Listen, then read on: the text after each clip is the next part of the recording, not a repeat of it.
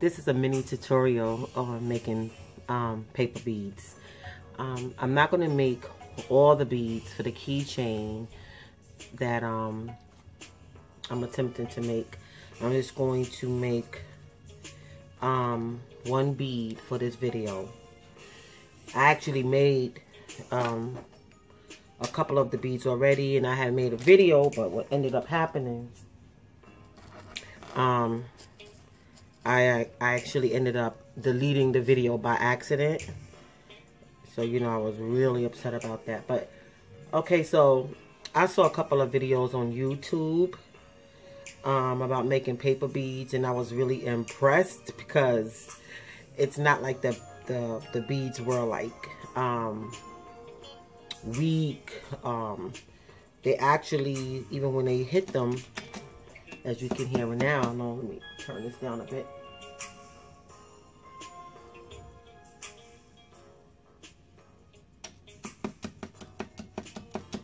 Okay, um, you can hear that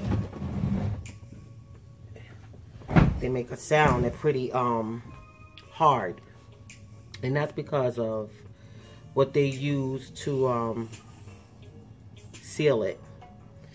So I have a couple of beads that I've made here before, so I want to share that with you. Share it with you. So here's a pair of earrings I made.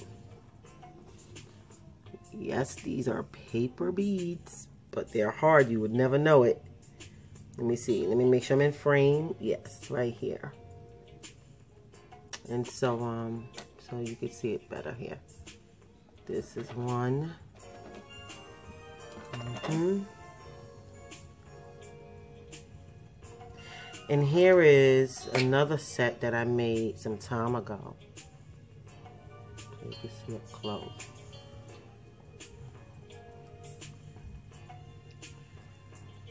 This is, so I made them and put the wire and the earring hook. And what else? Um, oh yeah, I have this chain to go with it.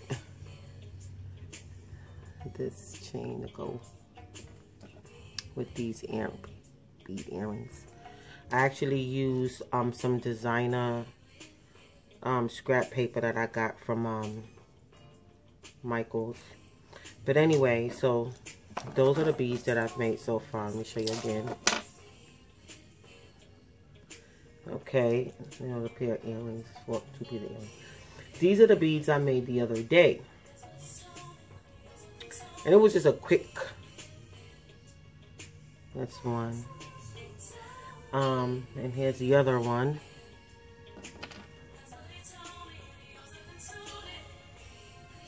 Hmm. Right? A little bit sh shaped a little bit different. This one is a little bit um, shorter and fatter. And this one is a little bit longer, thinner and longer.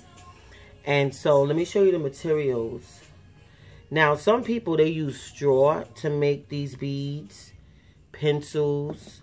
Um, I actually have a bead maker um, I got off, I got from Amazon. This is the bead maker. Let me show you the brand. Paper Bead Crafts. Long split pin paper bead rollers. Right? And um, you know they call it a long split pin because you know of this right here like a split. So so I'm using my paper bead roller. I'm using um I'm not going to use Mod Podge. This is a hard coat um, Mod Podge. I can use it or I can use the tacky glue um, um, afterwards to seal it. Some people use nail polish, but um, I don't want it to be a case where the nail polish chip off. I will use it, but I'm I want to put an extra coat, so I'm going to use Liquitex High Gloss Varnish or triple thick. I'll see in the process um, what I want to use. Um, these beads, I just did the, um, the nail polish. But I'm going to go a step further. Now, let me just, oh yes, I'm not done yet. Um, here's the piece of paper that I'm going to use to show you how to make the paper bead. And um, I have some toothpicks and I have candle. That way I could stick the, the toothpick in the candle so the bead can dry. I actually want to get some styrofoam to make um, a bead holder where you can stick all your toothpicks in the styrofoam and let all your beads dry. So um, I haven't bought anything that has a packaging with styrofoam in it lately. So I have to wait or maybe just um, ask around. So um, it was something that I want to say before I get started. Um, I forgot. Anyway, so it'll, it'll come back to me. Oh, that's what I want to say.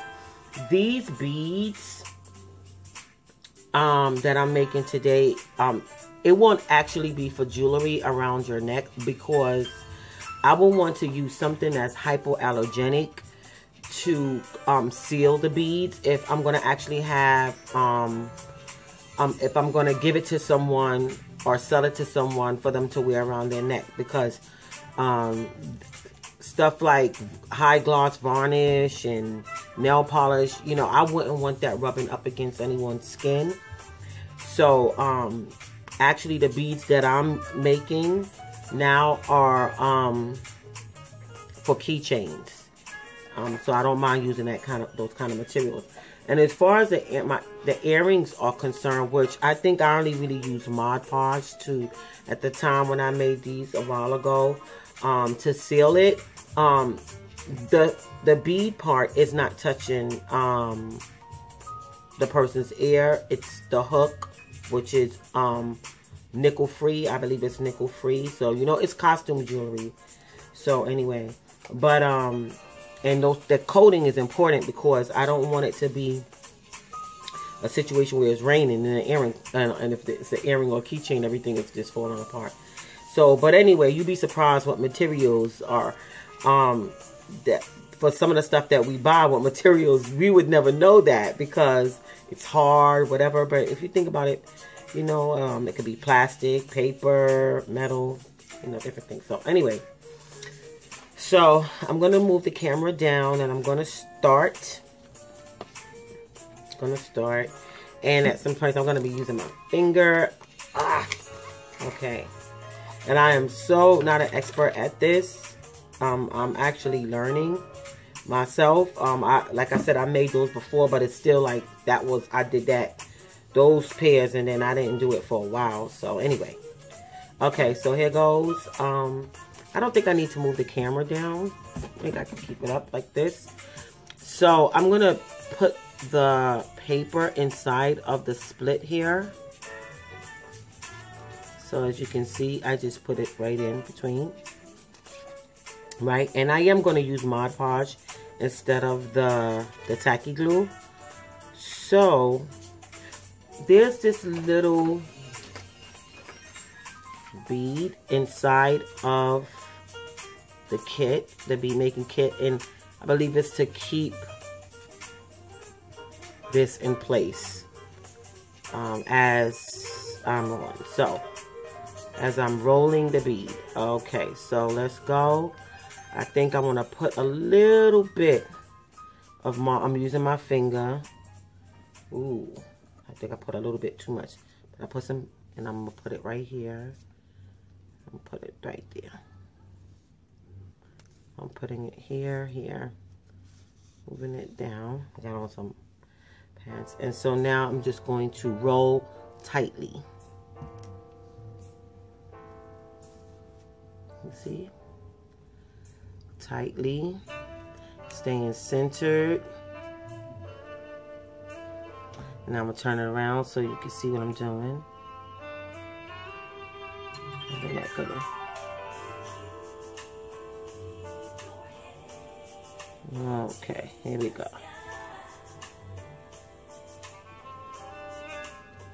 Nice. Keep going. Could you imagine all the possibilities with the pretty, if you have pretty scrapbooking paper? I'm actually thinking about using um, material. I have some nice Afrocentric looking material that I want to use. So, I may want to use that when I start making uh, more like the bracelets or the chains. Right now, I'm just going to focus on keychains. And I'm going to do a process video for the keychains. Um, once I make all the beads. And I'm just taking my time, so I'm not pressed to make the um the keychains like, oh my god, I gotta get out. But look, okay, so I'm gonna put a little bit of Mod Podge to okay. So now what I'm gonna do, I have the bead roll, and as you see, it doesn't take that long to make this. The only reason why I just took that long because I'm talking and I'm, I was um, modeling it for you. But here it goes. Take it off and the bead is done. Okay, so let me put it on. Oh boy. Oh, this is going a little bit over. I don't want to go over. I didn't want it to go over 10 minutes, but I think I talked a bit too much. Okay. But anyway, so let me hurry up the process. So you can see that. And I'm not going to use the well, you know that I'm going to end up using this or the triple thick to seal it in and make it hard and waterproof. But before that, I want to put a little bit of sprinkles on this. So I'm going to use the nail polish. And now look. See, it's not going to show up as nice. It's not going to show up on a camera the way that it looks in person, you know. But um it's really nice because it has the sprinkles on it. Let me see if I can put it a little bit closer. Let me see. Yeah. Yeah. And so that will dry. I have a dryer, a heater, heating tool, but but just for the purpose. And I'm making sure I get all the little crevices. I think handmade stuff is so beautiful. It's just fun too and it's relaxing. Yeah. So nice. Okay.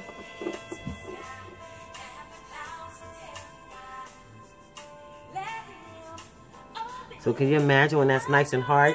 And this is like not like even the prettiest paper that I have. I mean, and when you go to Michael, I mean, it's so beautiful. And not only that, you don't have to even buy paper. You can use magazines, like all the different prints that you see in mag magazines. You can use old books with print. I mean, the possibi possibilities are many. I don't want to say endless. I'm tempted to say endless, but I'll say is so many possibilities. I guess the possibilities are endless because with God all things are possible. And um, we don't know everything. And God has ideas stored up for us.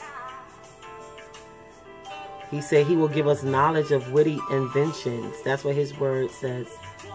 And those that love their God will do great exploits. So, thank God for creativity. So here it is. And I'm going to actually put some varnish or some triple thick at some point. And, and when I make my video on beading, um, making the, the keychain actually, um, I'll, I'll, I'll post it. Okay. I, God bless you and, and I pray that you're inspired. And like I said, even if you don't have scrap paper, you can use a magazine. You can use um, regular Elmer's glue and um what else? Um regular Elmer's glue and nail polish. And it's not like you're trying to sell it on Fifth Avenue for a million dollars. You know maybe it's something that you want to make for someone a keychain. Um I wouldn't advise nail polish on anybody's wrist but I'm like a little keychain or even a bookmark a bead bookmark okay um all right so God bless you and thanks for watching